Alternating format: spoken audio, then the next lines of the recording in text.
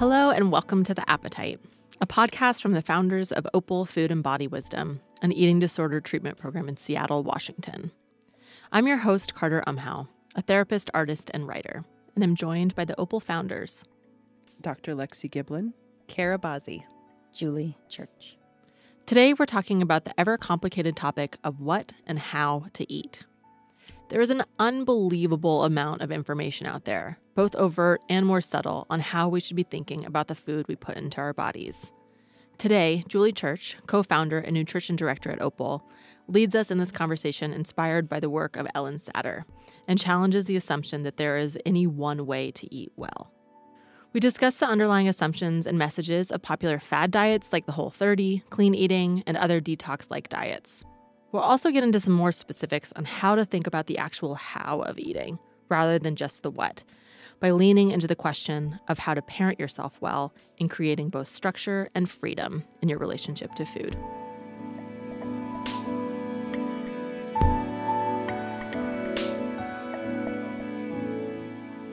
Okay, so uh, today we're talking about what's gone wrong in our culture's relationship to food that we're so inundated with so many different conflicting messages about the right way to eat. Uh, Julie, do you have some sense of when all this complication started? I one of the things that I always think about when it comes to this is what was it? What is it supposed to be? Like kind of getting back to the natural. And I think something that is a desire is just like, oh, that it should be easy and natural and yeah, what kind of got in the way of that? And so I I do think back to where did we learn not me necessarily, but generations before me mm-hmm. uh, learn to eat and how did they learn to eat? And I think of a home and I think of their own dinner table. I think of maybe some land outside that perhaps somebody farmed to some level. I'm not saying like full farm, but even the green beans or the, mm-hmm. I don't know, small things that they might bring in. And I, I I do think it just comes from culture and identity and family and things that were passed down so much. And then you kind of come to the 1930s, at least in America, and that's when the diet culture started. So that's actually not that long ago, the 1930s, if you think about it. And so prior to that, it was less dictated from the outside and it was more of a personal thing as to how one ate and how people interacted with food. So then in the 30s, then the dieting industry started. And I think you could kind of speak to that, I suppose, but just so many very interesting advertisements. Uh, I wish we could show images on this, right? Yeah. But remember, I mean, just weird weird, weird images. What sorts of, of things? Well, I know recently I saw one and it was all about tomato juice as like the answer to both health and appearance. And it had like this definitely shaped body, you know, female shaped formed body. And then it had next to it was like the tomato juice can made into this hourglass shape. And I'm like, this is wow. so interesting. Yeah. Mm. So I, if you do a search of like early diet ads, they're very fascinating. Inter- Actually, here's the image right here. You can see it, Carter. I have it in front of me. What was happening culturally? Do you think that brought that to the for the dieting industry in? I'm not the historian, so Maybe. okay. I'm not that good with that. But it, I mean, at that time, it is equal with. I mean, in terms of food, it was the um, industrial revolution, and a lot of the depending more on industry and less on the person in terms of food industry. So that's one of the things that was more mass produced tomato juice, specifically mm. thinking about tomato juice. But um, this thing that was found to really help with um, nutritional deficiencies in hospitals, and that could be given as a high vitamin C food. And then it became this sort of quote unquote superfood of the time. But then it was sort of hijacked by the diet industry to say this is also a low calorie food that can be drank and filling. mm-hmm. So, but there was um, the parallel of like a lot of industry change and role changes, right? Of like trying to figure out what what how are people going to kind of move forward in what industry and who's going to be the power at the time and who's going to it makes me wonder if it was a time when food was just becoming more marketable like mm-hmm. there was mm-hmm. something yeah, about the, economical. They were, yes, yeah, yeah. Mm-hmm. There was like sort of a salesman yeah. attitude around food for the first time. First time because it's being packaged, mass right. produced with labels and with mm. yeah. right. So you better buy our food, and here are the reasons, and this is why it fits within the yeah the food pyramid, yeah, which is again also yeah. commercial. Yeah, all of it. Yeah, the prohibition also with alcohol mm-hmm. use and the the drink of tomato juice combined with. what's the Bloody Mary? Vodka, I don't even know. Typically, thank you, thank you. Gin. But that was one of the places too. It was actually around the same time as this diet containing tomato juice is being promoted. Was also similar to that. So I think that that started that trend of people looking outside of maybe their own home or their own bodies to say, okay, what do I eat? How do I eat? And then even into what I think of as um, more maybe more current era of the 80s and 90s, then there was a woman who is actually still uh, known in sociology and in nutrition and politics, actually, too. Marion Nestle came out with kind of her little phrase of how to eat. And her phrase was eat less, move more, eat lots of fruits and vegetables take that in kind of. Just i think the eat less is interesting to think about in the present. Um, but that was the 80s and 90s and then and then the 2000s michael pollan came out with his seven words and all of the books that ensue. I mean marion nestle is also a prolific writer and researcher and mm-hmm. so similar. Um, lots of things that you can find on both of these folks. But then michael pollan's seven words are eat food not too much mostly plants and I think both of those kind of spanning some of those decades and then into the present era, we have a similar, I think there's a similar rhetoric out there of like eat less and these particular foods, like eats lots of fruits and vegetables. So I feel like those have set us up to feel like what we're supposed to eat is the main focus of your relationship with food, the what. And easily these two can parallel to me as a lot of the current diets that are pretty common out there right now is a lot of reliance on plant-based mm-hmm. foods and then curbing the amount that you eat based on this. I don't I don't know I don't know I'm, I'm based on what. I mean, it's just eating less in relation to something or not too much in relation to something to me it feels external right because mm-hmm. that's that sh- in my mind the amount of food we eat is very personalized and so to read not too much or eat less is concerning to me mm-hmm. it feels like that's easily misused yeah. so can you go back to kind of explaining a little bit more about kind of your imagination of mm. what it looked like before there was an external voice telling us what mm. to eat mm. because we've talked about body wisdom so much, of course, on this podcast, but in terms of the details of yeah. being in relationship to your plate in yeah. some way, or maybe not even overthinking it that much, what is, what would that have looked like? Well, I, I mean, I, I, in terms of imagining that and having some sort of picture, I mean, I just, I, I, I envision that there's food available, right? There has to be plenty and abundance of food of, of variety and familiarity people eat and it's not as much of a content of the conversation as to like how much somebody's eating or what somebody's eating but there's food available and people are participating in feeding their body and then they move on to the next event. I see it as still a part of social entities, you know, social events and mm-hmm. um, something that draws people together for community. It also, you know, back hunter gatherer, like it's the whole purpose of life. Like you yeah. do this, you go and get food and then you eat it, you know, you store it and you keep it. So it's really so much of life and system. I, I wouldn't be a female business owner if there wasn't the movement in society to have more industrial revolution and have there be processing of food, right? Mm-hmm. So if I'm having to actually cut down the wheat and then make it into bread, I'm doing that. I'm not opening a business.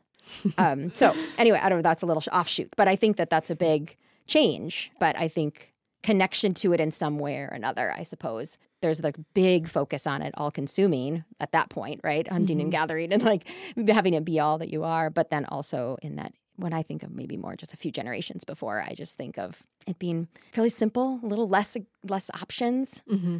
Um, yeah, I was thinking about like you eat what's available, so there's mm-hmm. such a mm-hmm. focus yeah. on just yeah. nourishment. And there is a that. drive for it, right? So there would be appetite that's the drive, and I think that's something that I think we've lost touch with, um, lost trust in too. Is just that that natural drive for the need for food and the connection and the acceptance that that's okay that yes i am hungry i need food therefore i'm going to go get it or i'm going to eat what's in front of me or what's served to me mm-hmm. and now i think it's just more complicated people feel like there's all these different rules and different plans that they've been told or different mandates around different foods that then it doesn't feel as neutral to just come to a buffet of food and decide to eat uh, based on one's appetite. So, obviously, within our world, with our focus on eating mm-hmm. disorders, we see this on an extreme the impact of not having that kind of internal sense or that more natural relationship with food. Can you speak to the some of the specifics of how how this plays out in a way that winds up pretty unhealthy? I, I think it starts really honestly i think it starts young um, in that way for many people. Even though there's a natural instinct to listen to one's appetite it can get interrupted pretty quickly if there is a caregiver that's involved that then is going to be more controlling around um, what foods are being available or, or received and then how much. And so yeah so what does that amount to? I mean it amounts to having sort of emotional and relational connections to food that feel that kind of can fuel a cycle that can end up being disordered if it's hiding and hoarding food or eating in a particular manner in public versus the way that one might eat beyond that. And I think one of the oh, I don't know, a pattern that I think I, I my kind of heart go like I connect to with more compassion, I suppose, is just the the I the belief like people get to a point of saying, I am I overeat. I eat too much. Like a statement like that. And it it has stemmed from more of a consistent lack uh, like deprivation ment- mentality around them so they don't have access to the foods that might be satisfying to them or enough food and they've been told to eat a certain type of food or a certain amount of food and so then they believe because when they actually have free access to food they eat in a more uncontrolled way that they are somebody that eats too much. Mm. Um, and I that's that's a consistent pattern that I feel like I I see and I I react to right the Nestle and the Pollan quotes mm. in that way because I do think that those are misused yeah. and and trickle down to the way that most people think we should be eating and I don't I don't know how much freedom we're given to truly listen to appetite and listen and eat enough food. Mm-hmm. You've talked before about the psychological impact of knowing that there are foods that exist now, whether or not they would have 30 years ago, or, you know, it's not the original way that people eat. Like yeah. the psycho- psychological impact of knowing that, like, Oreos are available to you mm-hmm. and you can have those, mm-hmm. just deciding that, well, that's not the natural way people ate before there were Oreos, so I'm not going to have them, isn't really relevant anymore mm-hmm. because once you're aware that there's actually food in front of you that you're not able to have, mm-hmm. there is a little bit of a deprivation mentality. Yeah. And I think with the or I feel like Oreos, I've thought of Rice Krispie treats or something that mm. I think mm. about in my story. Mm-hmm. But yeah, it's it's if they if somebody has developed positive connections or negative connections, but just you know experiences with Oreos or Rice Krispie treats, then here they are, and now they are a part of one story. And if right. you can come to a decision of ethics or politics around the ingredients in some of those foods or the production or a company or whatever.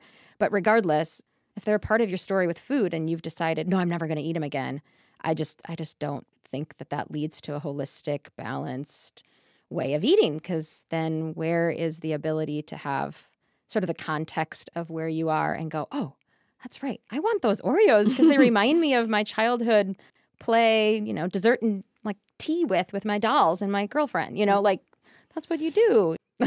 well, somewhere, it, yeah, what you what you eat getting connected to weight being such a big mm. part of the decision making. Because I would imagine that was not my great grandma Tilly. I do not think she was eating w- while thinking about what it would mean to her body mm. shape and size. And mm-hmm. I know, and that's where I do believe a lot of that. The dieting started making that link so the mm-hmm. more media and that industry, the diet industry, really started to make that link. Mm-hmm. And I, you know, there's possibly other factors that are more socio-political that like I'm less connected to, but I just think when there's this image of a particular and you know, with what they get from it and all that stuff associated with this particular body size, it's mm-hmm. it starts to make a message. It gives a message that oh, this is this is the life you want mm-hmm. or something. And what seems to be minimized now is the psychological contribution to what we're where what happens with eating and the emotional side. Those get undervalued in the f- food making decisions of like the impact of restriction. Mm-hmm. Mm. Yeah. And I think when, you know, why do people choose to do the modern diets, I guess? what are some of the reasons that you've heard that people would choose to do? I mean, what are some of the modern diets? If we're going to name them, Whole 30 is the one that comes to my 30, mind yeah. first. Mm-hmm. Paleo. Paleo. Weight Watchers. Keto, like mm-hmm. a ketogenic diet. What Jenny else? Craig. dating yourself. You're dating yourself. the cabbage diet. Okay. Wow. Sure. Group grapefruit diet. Cleansing, yeah. detoxing, detoxing in cleansing. general is is I think yeah. something that most people seem to be on board with mm-hmm. these days. Everyone needs to like kind of eat clean so that Get all the all those toxins, out of toxins their have to body as go. a common. Totally. Right. Yeah. Yes. Yes. Julie, yeah, I'd love to hear you speak about the Yeah. whole 30 Toxin. since that's such a big I know. part of our culture right now. Sure. I know we feel it at least right now in the Northwest. I'm not sure if it's everywhere right now, but one of the things we're listing all these diets, the, the things that I think about is okay, well, what what's the what's the difference between some of them? And I would say we throw in sort of the weight motivation, like people that are looking to a diet to change their body shape, size, weight, like that. And I would say that a lot of people that are doing that are looking at a calorie restrictive diet. So I would say that's more the Jenny Craig, Weight Watchers thing. And then we have people that are searching for healing or cleansing or the detox thing. Uh, Medical improvements. yeah, yeah, health improvements. And those diets I feel are more in that category of it may not actually lead to people eating less calories. Like that's not the focus. They're not counting calories or counting that kind of stuff. They're more so changing the content of what they're eating. But when I when I think of the the emphasis on the detox and the cleansing, or even I I put Whole 30 in more of that detox cleanse kind of world, because usually people are they're not thinking about eating less food from that. They more so are changing the content of what they're putting in their body and saying you know res- restricting themselves from I think it's six different things or something. But in that they are. I think having more of a cleansing, detoxing kind of mentality. restart. Re, a A restart. restart oh. of their body. Okay. I don't know, Yeah. restart. Yeah. And one of the details that I think gets missed in some of the conversation around why that's so like normal and natural to do this is that we do have organs, the liver and the kidney that are detoxifying organs and that's like the main primary role that they have in our body and they they work. They can do a lot of the work hmm. for us and why our bodies I I've heard somebody a long time ago say this like our bodies are not dirty. Our bodies are not wrong. They don't need that kind of cleansing consistently in that way like we can allow for our organs to do it. And i react to that the detox cleanse mentality and think that we need to do that take that into our own hands instead of trusting parts of our bodies that are actually designed to do that. So i think that is one of the pieces that with the whole 30 that i i feel concern around. And i think yeah the psychological impact but i think maybe for me to just speak to more of the biological impact you know the the foods that are eliminated with the whole 30 are the no sugar no alcohol, no dairy, no legumes, no grains. and so those are the, all the categories that are then not eaten. And that's a lot of food.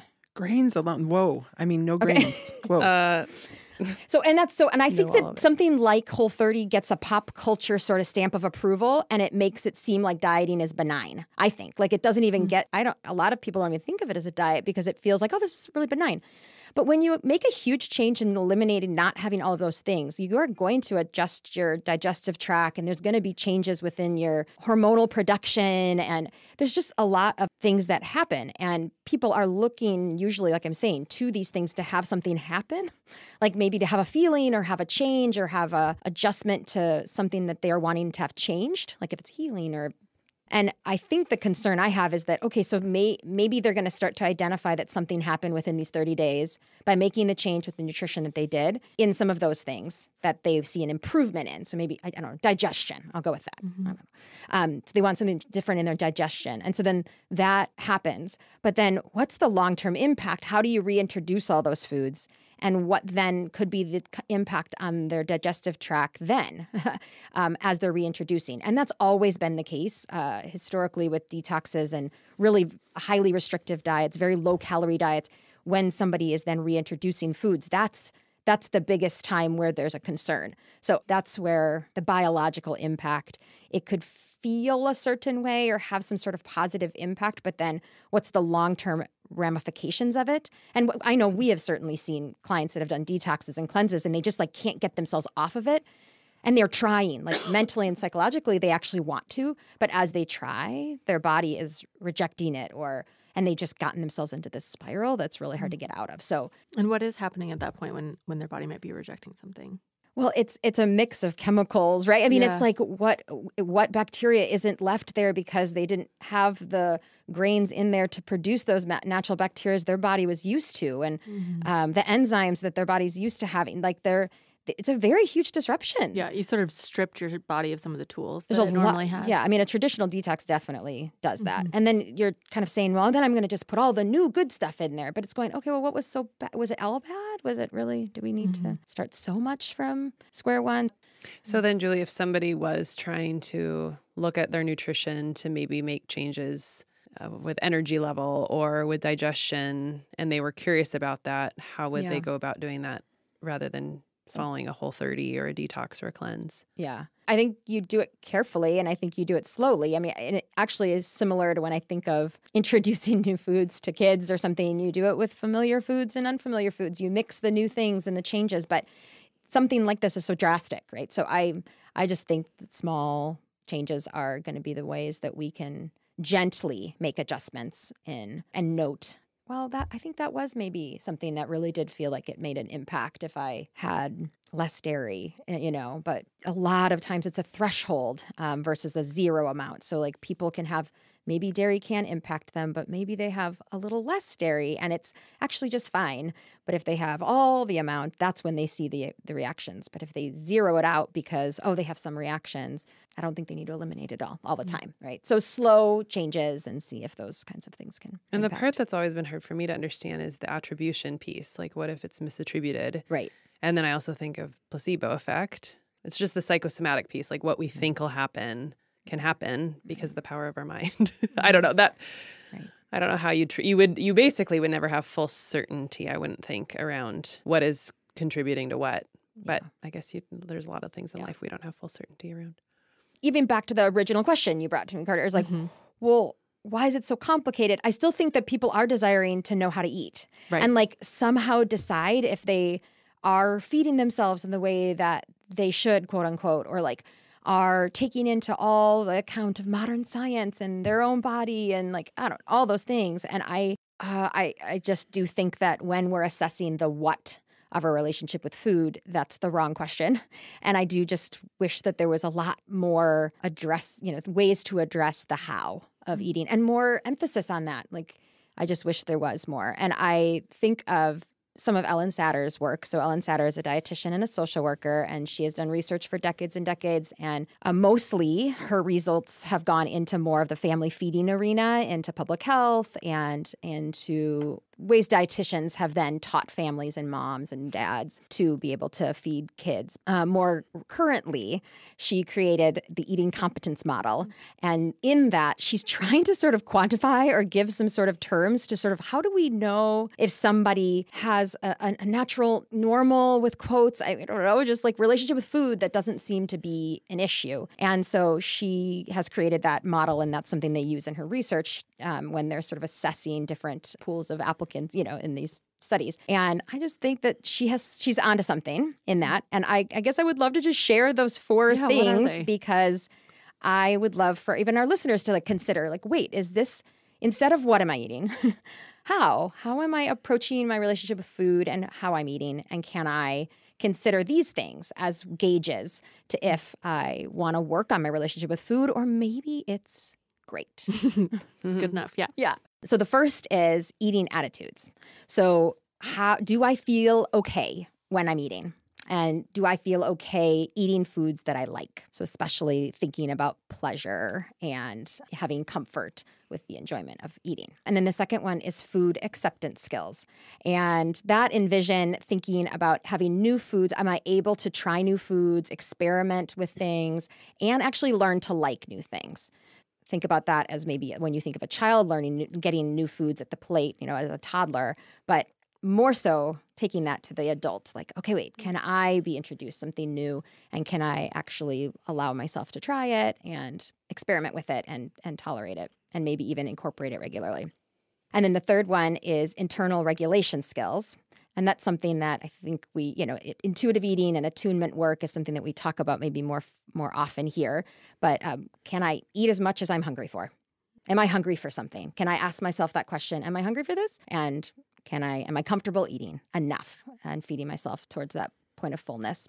And then the fourth one is contextual skills. And this is can I take the time to eat and and do the adult responsible actions like grocery shopping and prepping some food or having the food that's easy to take and eat, but making the time to eat and paying attention to just general basic principles around food and nutrition and to make sure that you you eat. Mm-hmm. So, those are the four things that I think are more of like am I what am I doing in those zones? I'm thinking of um, this idea of making time to eat. Maybe that was just because it was the last one you mentioned, okay. but my mind stuck there. Yeah. Just because there is, I think, a good bit of kind of pushback in the culture around not eating in a way that is intentional anymore.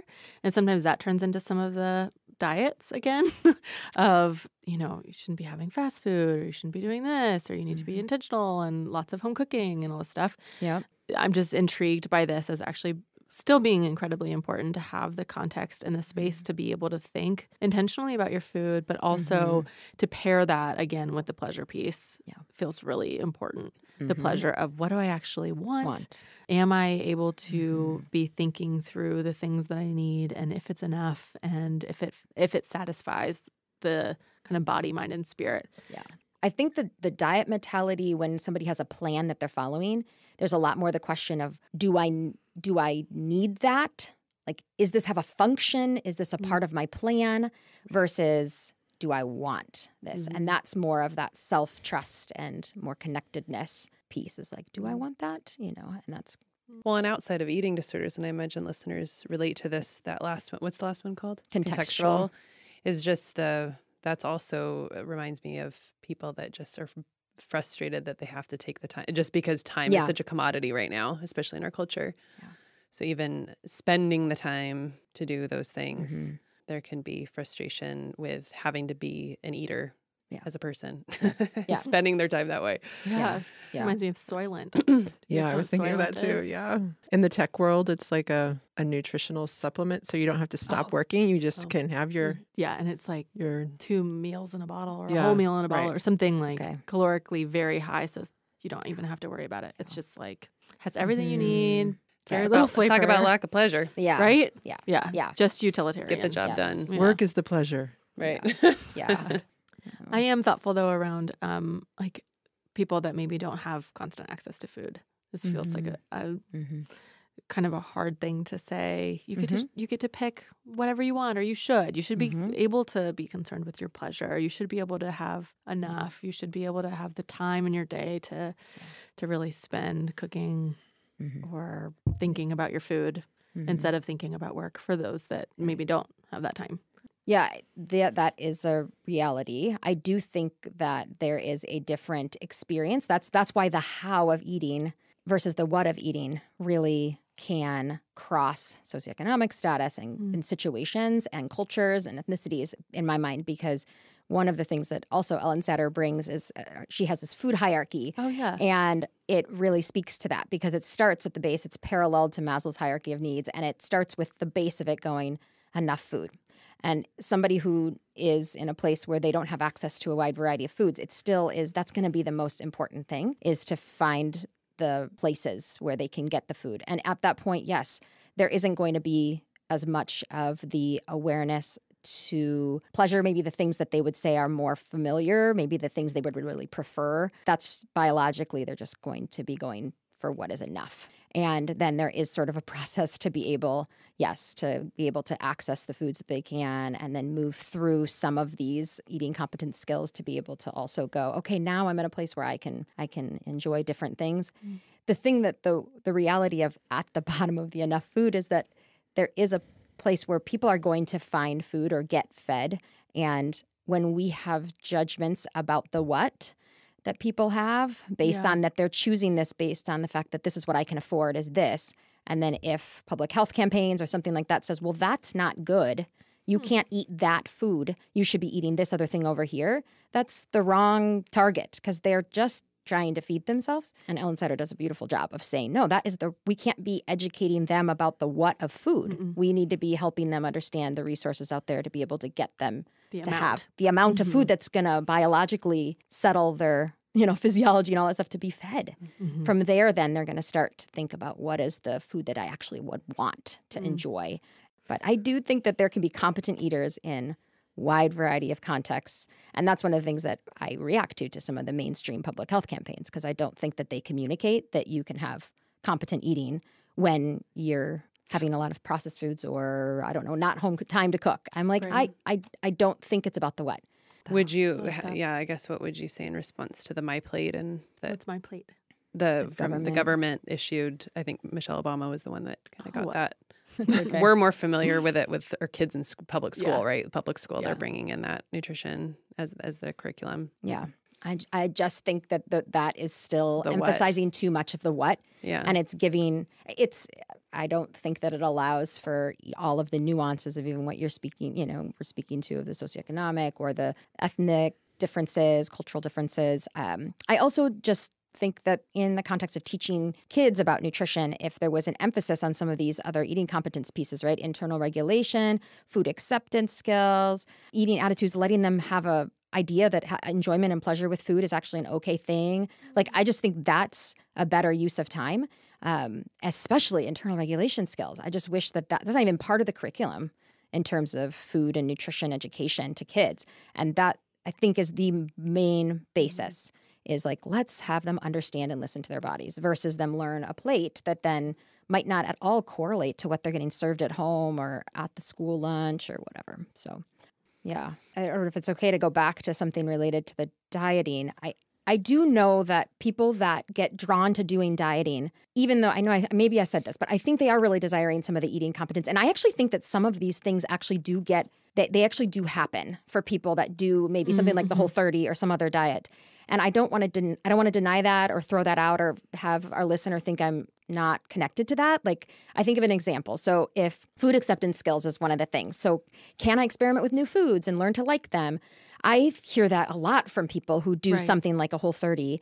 It's like I would have never used sweet potatoes in the way that I did, you know? That's great. But I I wonder if again it's like misattributed, misattributed. Like I go, yeah, that is probably because it's feeding into your building of your own competence as an eater that you could take some new ingredients and know what to do with it and be creative with it. What if that's what it's fueling that that's making you feel good about it versus that you're having this experience with sweet potatoes fueling your endocrine system differently than rice. I don't know. Yeah. I, that's where I just wonder if we had more connection to how some of these things build our competence, that we would actually be able to feel like, oh, yeah. oh, yeah, I'm a good, competent eater. Yeah, I, I agree because a lot of people wind up choosing to go on a diet or changing something in their food intake. I, I wanted to say lifestyle, but mm. that's sort of the seduction of these yeah, diets yeah. is that it's a lifestyle change. Definitely or you know even in their exercise relationship to exercise that they want to change something because they want to take some sort of control or some sort of power or, or feel some sort of agency in their life which yeah. might be something that's incredibly needed for them and it mm-hmm. is a time where they're feeling like oh i want to change this thing or i really want to like kind of be more in touch with myself and my life and i'm going to do it in this way and you kind of most of the time it, it, it can seem like all those eggs are put in one basket the I'm going to eat this way basket rather than I want to have more agency in my relationships and I really want to try this new thing and I want to be at home more and learn how to mm-hmm. cook and be creative in that way. It does go into the oh I I succeeded and I have more agency now because I ate this way for 30 days or or whatever it is. Um, but it, it's it does wind up being so self-esteem building and I can understand why people would really mm-hmm. enjoy that. But then but, there's the limiting byproduct because then you're right cutting out a whole bunch of things versus right. these eating competencies is so much more expansive because right. you're not having to cut anything out to do it mm-hmm. Mm-hmm. or making anything more narrow. But you still wind up like getting more experiences or just a different experience of yourself. I think that's what people want a lot of the time. Mm-hmm. And it can go a little haywire or very haywire. Yeah, that is so true. When some, I think that I just that rings true of what I both for myself and what I've heard from clients about kind of the beginnings of their eating disorder. Mm-hmm. Just like the beginning of feeling just so good and so in control and so on top of it, mm-hmm. and then more and more and more, and finally, then you started feeling trapped. Right. Right. Yeah. And in jail. I know.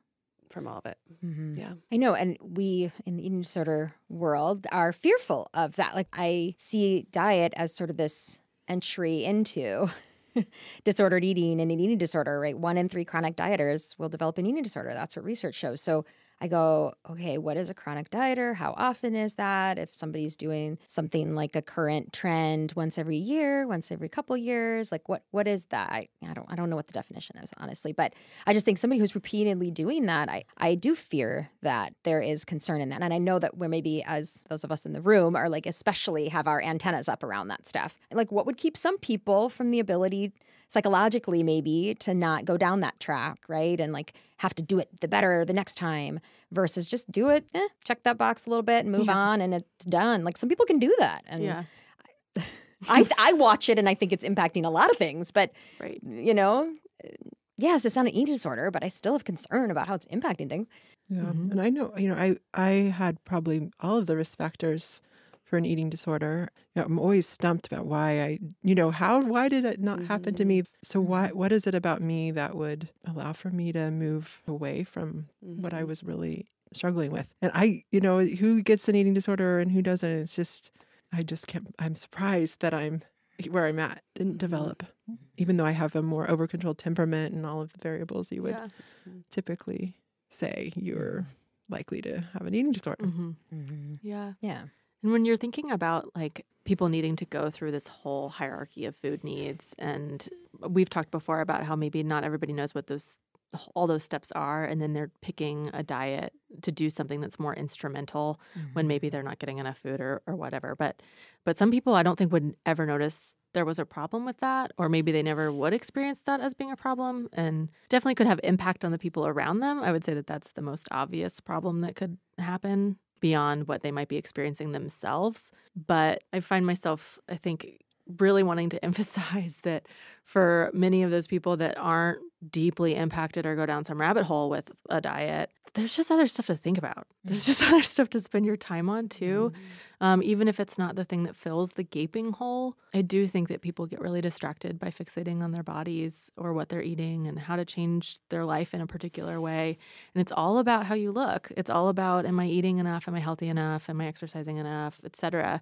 And not about, you know, how do my relationships look and you know, what else did I want in my life other than flat abs, flat stomach, whatever? You know, just what what else do I want? And mm-hmm. it's often a lot riskier to focus on those things and not get them than it is to change your diet frequently right. and feel some of the success or at least some of the focus of that and then get the external affirmation if you do wind up losing weight or something like that and mm-hmm. you're just it's not as fulfilling but it's also not as risky as some of the big the big things that your mm-hmm. heart would want mm-hmm. instead or if you don't even know what your heart would want. I mean, I think that's yeah. a lot of a pretty common experience of such a good point. I wouldn't even know what I'd be. I remember getting out of my in the transition in my recovery process. I remember thinking, I don't know what I like. I mean, there's just mm-hmm. so many big unknowns. So it wasn't like my what I was doing was blocking all these lovely future goals. I didn't even know what yeah, I wanted. they weren't. There weren't any. There weren't any. It was blank. No yeah. one wants to feel blank. Mm-mm. Yeah, have the identity rug pulled out from underneath them is scary. Mm-hmm. That is so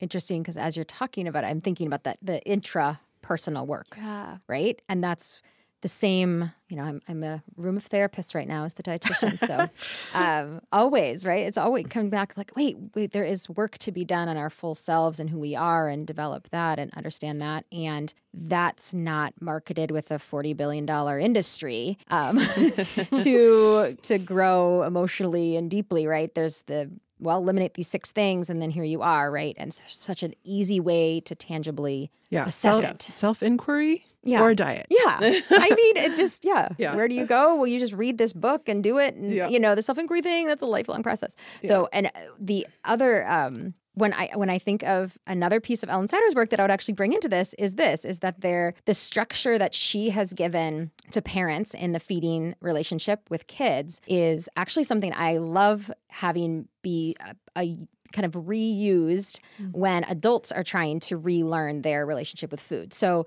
the division of responsibility that she has written for parents in their feeding relationship with kids is that the parents are in charge of the what, the when, and the where. And then the kids are in charge of whether or not they'll eat it mm-hmm. or how much they're going to eat.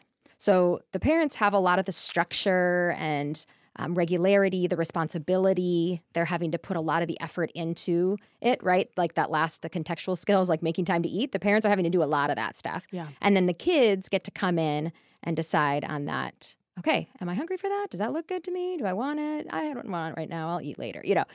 And I love the parallel of thinking as we as adults maybe come out of diet, chronic dieting, or maybe just out of the diet mentality and never even knowing that you know, or an eating disorder, I love the parallel of going, okay, what intrapersonally could I apply that to? So, okay, so I am going to do the what, the when, and the where for myself. I am going to take care of those things. I'm going to stock my fridge. I'm going to shop. Mm-hmm. I'm going to have a table that has a, you know, actually dishes and silverware to eat with and think about the what, when, and where. Have some scheduling and make my life sane so I can actually stop to eat. And then when I get there, then I get to decide how much or whether or not I'm going to eat. But I'm going to do this work for myself to mm set myself up to be able to eat. And I, I just, yeah, I think there's something in paralleling that as a way to take a step towards. Uh, you said the word control. Like a lot of people turn to dieting for control, mm-hmm. and I, I like to think about responsibility like because we still have to do something with our food relationship we, people want to control it but what if we can just be responsible and take the actions to like prep ourselves to be able to feed mm. ourselves and and engage in the moment. It's a beautiful thought. And I'm thinking psychologically how that translates the idea of control versus responsibility. I'm so curious about how people might have internalized those external voices we were talking about earlier, whether it's actually a voice about diet and what you're supposed to eat that's in our culture, or it's simply just the voice of your parent, mm-hmm. the voice of people that have maybe been the ones that are in charge of you in whatever way um, we internalize those things and think we're supposed to have control over ourselves. Or there's maybe a different way to think about how some of those relationships could have gone. And they could be in a place of more like loving attention and attunement and care and mutuality, maybe even in moments.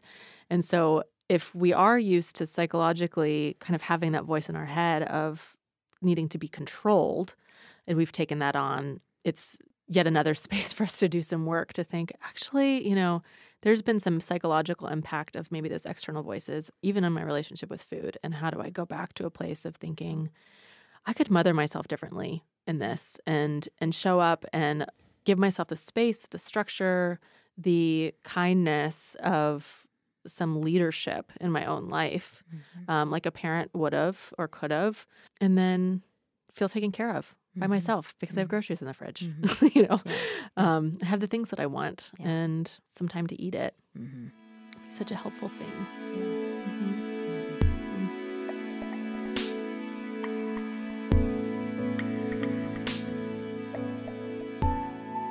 Thanks so much for joining us for this episode of The Appetite.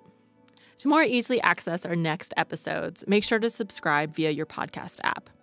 To learn more about Opal Food and Body Wisdom, check out our website at opalfoodandbody.com or keep up with Opal on Facebook or Twitter. If you ever have any questions or just want to reach out to us at The Appetite, email us at theappetite at opalfoodandbody.com. Thank you to Aaron Davidson for the Appetite signature music, to Jack Straw Cultural Center for sound engineering, and to Sarah Taylor for production assistance and editing. And thank you for listening. Bye, and talk to you next time.